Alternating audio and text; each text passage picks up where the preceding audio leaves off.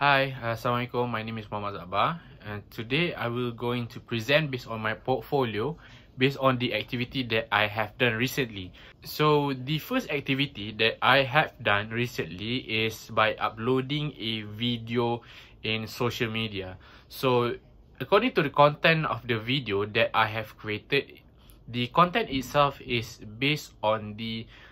self-entrenchment whereby the context of the video is to to create an exposure or create an awareness towards other people by making a better decision for them. And it is also important for me personally to share this information as it is because that our society nowadays has uh, been affected especially throughout the uh, toxic environment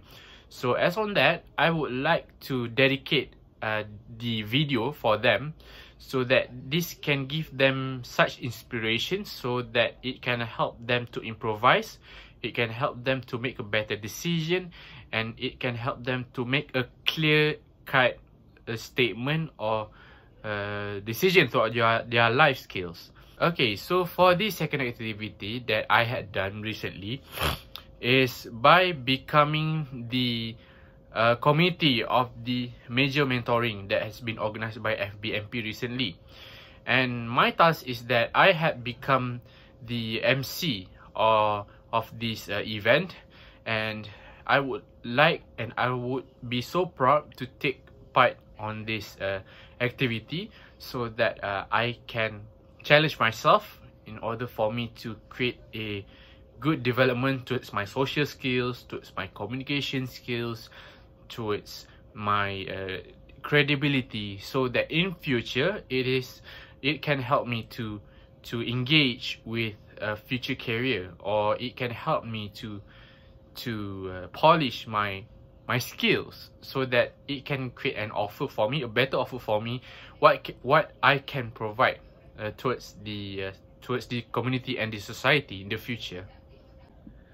okay so based on the picture being shown so uh, this event, I have become the uh, MC of this uh, event, whereby the time period for me to uh, to deliver this this matters is during the closing ceremony of this event, and not just me. Um, I had been um, guided by my own mentor, which is Madam Afiza Latif. She is very amazing person. She helps me to to deliver my my task well so that uh, it can be uh, conducted successfully uh, throughout the event. okay, as you can see in the uh, video that uh, that I shared,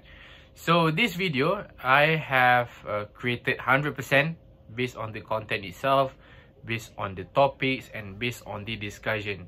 on what uh, contains in the video and I have posted the uh, video itself in my own social media account which is my own Instagram